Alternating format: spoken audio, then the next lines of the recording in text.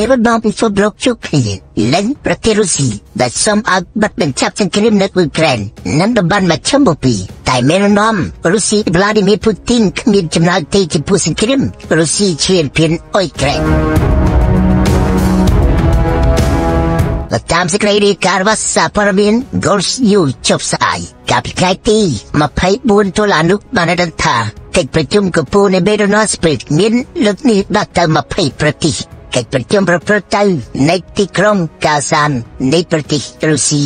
ដែលចាត់ទុកថាជាវេទិកាធំបំផុតនៃវេទិកាការទូតរបស់ពេលរបស់ពិភពលោកនៃក្រុមសម្ព័ន្ធភាព Spirit ដែលមកជួបជុំគ្នាក្នុងទឹកដីរបស់រុស្ស៊ីចាប់តាំងពីសង្គ្រាមអ៊ុយក្រែនផ្ទុះឡើងជាសង្គ្រាមឆ្លៀតពៀនរបស់រុស្ស៊ីក្នុងខែកុម្ភៈឆ្នាំ2022ប្រធានាធិបតីនៃប្រទេសអារ៉ាប់អ៊ីមីរ៉េតឬអារ៉ាប់រួម ប្រមម្ចាស់សេកមូហាម៉ាត់ប៊ិនហ្សាជីនអាល់ណាយ៉ាន់បានសម្ដែងនៅការពេញចិត្តដែលប្រំបានមកចូលរួមជំនួសកម្ពុជានៃអង្គការសេដ្ឋកិច្ចស្ព្រីតនៅក្នុងទឹកដីនៃប្រទេសរុស្ស៊ី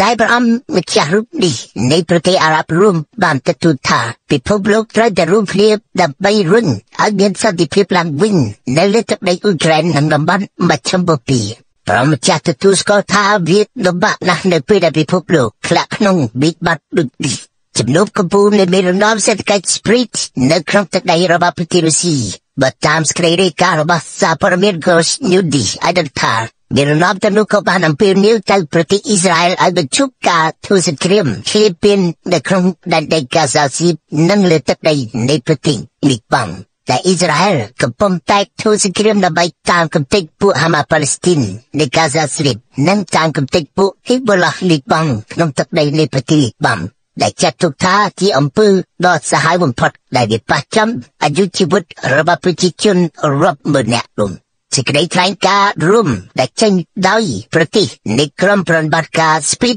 5ប្រទេសបុកនឹងប្រទេសសង្កេតការច្រើនទៀត ចំនួន20ប្រទេសនោះបានថ្កោលទោសចំពោះកងទ័ពអ៊ីស្រាអែលដែលវាប្រាលើបន្ទាយកងទ័ពរបស់កងរក្សាសន្តិភាពអង្គការសហប្រជាជាតិនៅលីបាំងដែលអំពីនេះឲ្យអ៊ីស្រាអែលបញ្ឈប់សកម្មភាពបែបនេះវាប៉ះពាល់ធ្ងន់ណាស់ទៅលើបាប់រុស្តអន្តរជាតិមានរណនដែលចូលប្រជុំនៅឯអង្គការសេដ្ឋកិច្ចស្ពីតបានបញ្ជាក់ថាអធិបតេយ្យភាពរបស់ប្រទេសលីបាំងត្រូវតែគោរពដាច់ខាតគឺមិនត្រូវឈានពេលនោះទេ ជាមួយគ្នានេះប្រធានាធិបតីអ៊ីរ៉ង់ម៉ាស៊ូតប៊ិនសេនគិនបានទូដល់មានរណននៃស្ពីតប្រាំប្រទេសមានដូចជាប្រទេសចិនឥ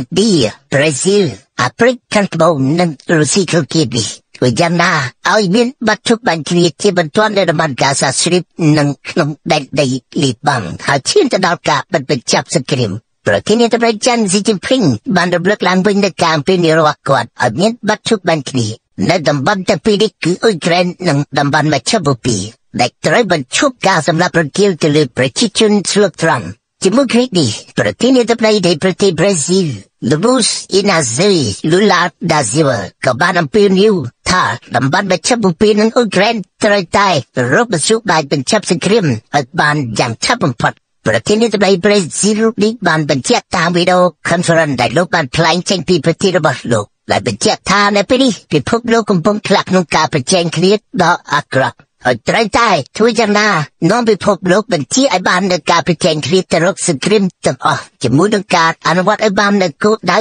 រួមរបស់ពិភពលោកគឺសន្តិភាពប្រធានាធិបតីចិនស៊ីជីភិងនៅតែបន្តនិយាយថាការកើនឡើងក្នុងសង្គ្រាមនៃប្រទេសអ៊ុយក្រែនត្រូវតែកាត់បន្ថយហើយភាគីជាបានគ្នាត្រូវតែកាត់បន្ថយដើម្បីទៅរកតបចរចាជាបន្ទាន់ លោកស៊ីជីភិងទទួលថាគេមិនត្រូវពង្រីកសង្គ្រាមថែមទៀតនោះទេនាយករដ្ឋមន្ត្រីនរិន្ទ្រម៉ូឌីណាវិញបានថ្លែងក៏ប្រហាក់ប្រហែលនឹងមេរណមស៊ីជីនភីងផងដែរលោកនាយករដ្ឋមន្ត្រីឥណ្ឌានរិន្ទ្រម៉ូឌីទទួលថាការចរចានឹងដំណោះស្រាយការទូតគឺជាការអាចរកការបិទបញ្ចប់សង្គ្រាមនៅទឹកដីអ៊ុយក្រែននិងតំបន់មជ្ឈមបូព៌ីលោកទទួលថាឥណ្ឌាការពិតចាំដើរទូនទីជាអ្នកសម្រាប់សម្រួល ឲ្យមានការបិទបញ្ចប់សង្គ្រាមនៅលើទឹកដីអ៊ុយក្រែនប្រសិនបើរុស្ស៊ីយល់ព្រមនឹងនាយករដ្ឋមន្ត្រីអន្តរជាតិនៅតែបញ្ជាក់ថាគ្មានពិភពលោកណាអាចបញ្ចប់សង្គ្រាមដោយសង្គ្រាមដូចទីតែយ៉ាងណាគ្មានចម្លើយមួយម៉ាត់ទេចេញពីប្រធានាធិបតីរុស្ស៊ី Vladimir Putin ជាចម្លើយវិជ្ជមាននោះលោកពូទីនមិនបាននិយាយយោងអំពីការអំពាវនាវរបស់មេរណមនៃវេទិកាប្រទេសសេដ្ឋកិច្ចស្ព្រីតនោះទេ លោកពូទីននៅតែដាក់ផែនការថាគេត្រូវរកមធ្យោបាយបិទបញ្ចប់សង្គ្រាមនៅមជ្ឈមពពីជាជាងរកមធ្យោបាយបញ្ចប់សង្គ្រាមនៅអ៊ុយក្រែន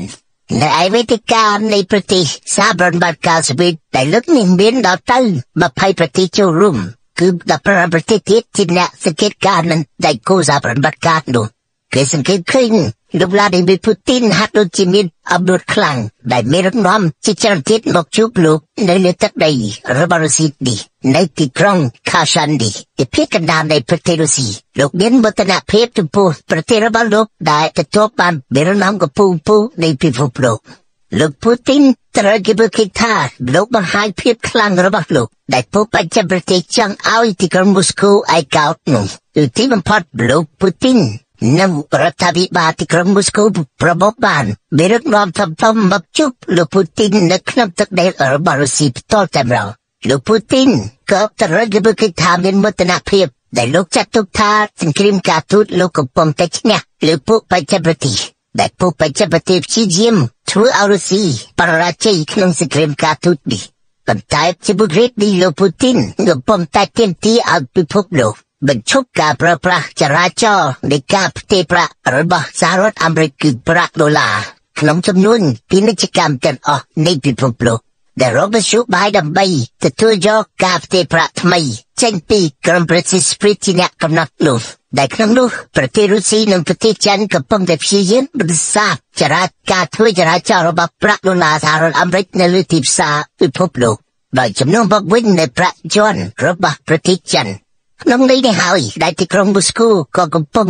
រកមធ្យោបាយដើម្បីបន្ថោកប្រាក់ដុល្លារសហរដ្ឋអាមេរិកនៅលើទីផ្សារអន្តរជាតិជាមួយនឹងធ្វើឲ្យលោកខ្លាំងនៅគណៈដែលរុស្ស៊ីកំពុងធ្វើសង្គ្រាមនៅលើទឹកដីនៃប្រទេសអ៊ុយក្រែនមកដល់ពេលសង្គ្រាមនៅលើទឹកដីនៃប្រទេសអ៊ុយក្រែនវាចូលដល់2ឆ្នាំ8ខែហើយមហាអំណាចរុស្ស៊ីកំពុងតែវាសធប់ដើម្បីពង្រីកទីតាំងជើជើរបស់ខ្លួននៅគណៈអ៊ុយក្រែន ក៏កំពុងទប់ទល់ការវិលុកយ៉ាងខ្លាំងរបស់រុស្ស៊ីផងដែរហើយអ៊ុយក្រែនក៏មានសមត្ថភាពក្នុងការវាយចូលក្នុងទឹកដីរបស់រុស្ស៊ីនៅខេត្តគួកដែលមានពង្រីកទីតាំងឈើជើងរបស់ខ្លួនតាំងពីខែទី6សីហាមកដល់ពេលនេះដែលតែអ៊ុយក្រែនទប់ទល់បានការវាយបករបស់កងទ័ពរុស្ស៊ីដែលរុស្ស៊ីមានផែនការដើម្បីរំដោះតំបន់មួយភាគធំ ដែលធ្លាក់ក្នុងព្រំដែនរបស់កងទ័ពអ៊ុយក្រែននៅក្នុងតំបន់នៃខេត្តគួកក្នុងដែកដីជាប់នឹងព្រំដែននៃប្រទេសអ៊ុយក្រែននេះ